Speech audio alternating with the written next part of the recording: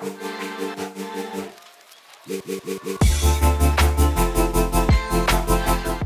Warhammer universe is a pretty rough place, with the constant warfare making everything very dusty and cratery, it's no surprise that things can get a bit beat up and grimy. Representing this on your models is called weathering, and this can be achieved in many ways, from oil washes, streaking grime, sponges, pigments, and chipping medium, to name a few. In this video I'm going to be primarily focusing on chipping medium on this Land Raider Spartan, but we'll touch briefly on oil washes and pigments later on. Those topics can be pretty extensive on their own, but I'll give you enough info to get started. All these techniques look great on the 30k models, because for some reason they're always a little bit more beat up in the 31st millennium. Maybe the Emperor couldn't afford to pay for the premium paint protection offered by the Mechanicum. Galactic Civil War isn't cheap after all. The Mortarion model that you see in this intro was my original intention for this video, but all the footage was a little bit too dark so I had to scrap that. But luckily enough I've got this Land Raider Spartan on hand to fill in. Start off by priming your model in whichever primer you want to use. I tend to use this Vallejo surface primer through an airbrush, which is my favourite method. This primer colour doesn't matter too much because it's all about this next colour we're going to use, which is this charred brown from Game Air. Now obviously you don't have to use this exact brand or colour, but brown is what I'll definitely recommend for this, because this is the colour we're going to see underneath our chipped paint. At this stage it doesn't really matter what colour your final colour is going to be, because you're going to have a chance to prep and pre-shade that in the next couple of steps. And now for the chipping medium itself. I'm using Vallejo chipping medium, this is because it's thin enough to go through an airbrush. Now you can apply this with a regular brush, it's just going to take you a little bit longer. And as it's going on through the airbrush, it'll look like it's clumping up, but that's perfectly normal. You may find you will need to increase the air pressure on your airbrush just a tiny amount to get it through. And you can actually thin this if you're having even more difficulties, just with a little bit of airbrush thinner. Just don't use water because that will interfere with the chipping effect.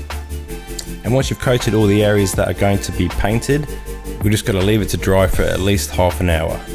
And I'm not sure if you can actually speed this up with a hairdryer, but I wouldn't recommend it. When this dries, it'll still look glossy, but it should be dry to the touch and now you can start painting your army colours. And because I want to try these new Citadel contrast paints, I'm going to be pre-shading this with white. And I'm doing this because these contrast paints are very transparent and if I didn't it would look very very dark. However, I still want some of the recesses to look dark, that's why I'm going to be pre-shading this in a zenithal style. Alright, everyone here wants to see my style. This just means spraying it from above, which is going to give you some really nice shading on the vertical areas. And I'm also going to focus the spray on some of the flatter areas and also on the edges that I can reach easily. This is just going to make the yellow a little bit brighter when we put it on. And just to give it a little bit more variation with the colouring. Once that white's dry, we're going to come in with our contrast paint. And to apply this, I'm going to be using the airbrush again. Now these paints were made for airbrushes. They come out so smoothly and the pigment distribution is just really nice, considering how thin the paint actually is. And we should only need one coat of this. In the past when using chipping medium, two colours is probably the max I've ever actually experimented with, meaning two coats of paint after you've done the chipping medium. But it doesn't really seem to affect the next stage very much, so if you wanted to do some extreme highlights with multiple colours, I think that would be fine. But seeing as we did the pre-shade and we're using the super transparent contrast paints, two colours is going to be fine for this project. Now this is where the magic happens. When everything's completely dry, I'm just going to fill my airbrush with water and start spraying it over the top. And if you haven't got an airbrush, you can just use a spray bottle filled with water and it'll do pretty much the same thing. And I'm just going to do this one section at a time because you get a maximum working time with this. And if you do find that it's starting to get a bit hard to get off, you can just re-moisten it again. And you can repeat that as many times as you like. And once the water's been sitting on there for a couple of minutes, just grab yourself a really old dry brush or something that's got really stiff bristles I've even seen people using toothbrushes and bits of wire wool, things like that. Just anything that you feel is quite abrasive. And then just start stippling this all over the model and you'll start to see flecks of paint starting to come off. And different brands of chipping medium might react differently, so it's good to just go in a little bit gingerly just in case. And if you notice nothing's coming off like now, just leave it for a little bit longer and maybe add a little bit more water. And I left this for a couple more minutes and as you can see now it's coming off much more easily. And I'm going to be focusing mainly on the edges of this because I feel that's where the paint would begin to chip first. And I've sped this footage a bit up for you so you can see the whole process as we go. Don't forget every so often just rinse your brush off because a lot of that yellow is going to get stuck into the bristles and you're just going to end up moving it around to other places. Repeat this process over all the other areas that you want to be chipped. And I just find that doing it section by section just gives you less pressure to get it finished quickly.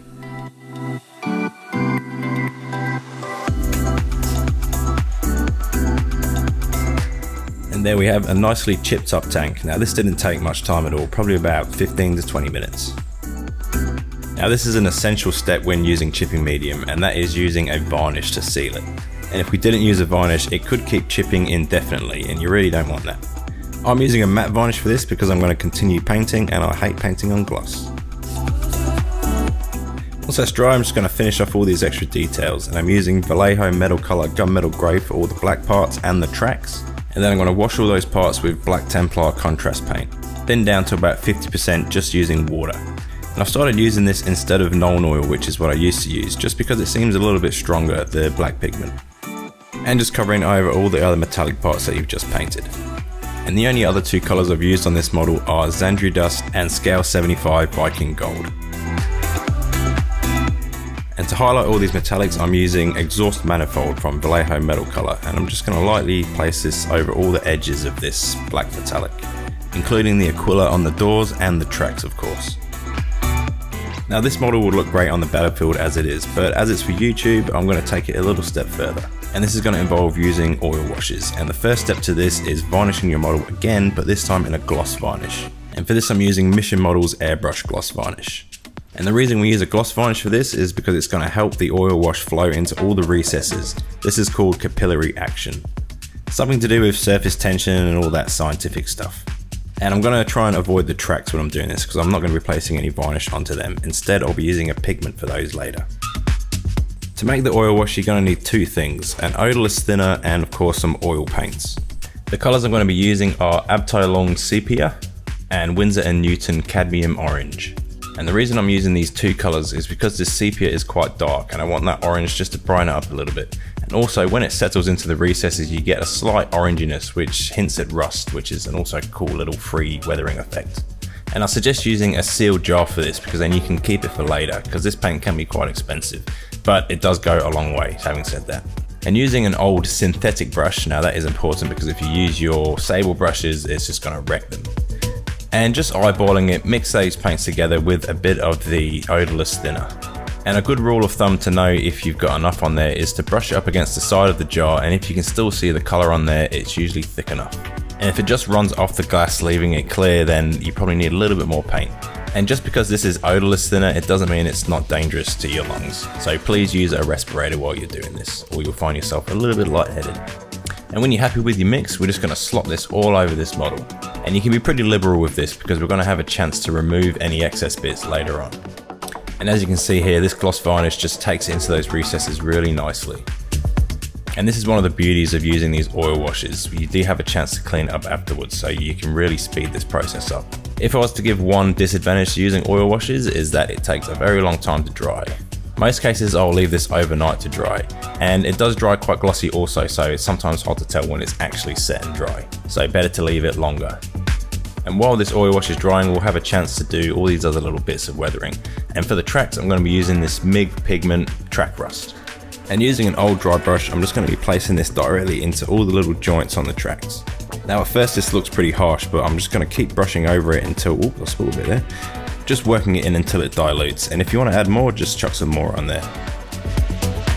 Now it's time to clean up any of this oil wash that we no longer want on the model. And for me, this is going to be mostly the flat areas.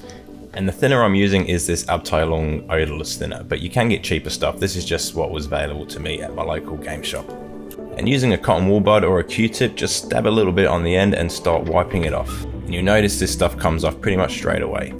And sometimes you'll notice as you're taking this off, some of it will flow back into the recesses, which isn't a problem, as it's going to boost those dark recesses for you. And I decided to add a little bonus tip on the end of this video. We're going to be doing some heat burn on these barrels.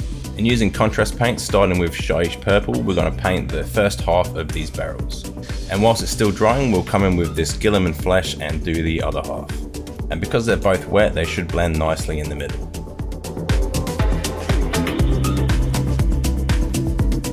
And that's pretty much it for this tutorial. I hope you've learned something new from this video and if you've got any cool ideas of how to use chipping medium let us know in the comments below. I'm sure there's some crazy ways you can use it that I've not even thought of before. I've also heard that using hairspray instead of chipping medium works just as well, but I haven't actually tried that myself, but I'll be interested to know in the comments also if you've tried that method. And even if you didn't learn anything from this video, if you enjoyed it, please give us a like and subscribe to the channel. We hope to be growing as much as possible in the next 12 months, and we want to be able to deliver the best content we possibly can. And I'll also be live streaming when Immortal Empires comes out for Warhammer Total War, which is on the 23rd of August, so keep an eye out for that. Thank you for watching.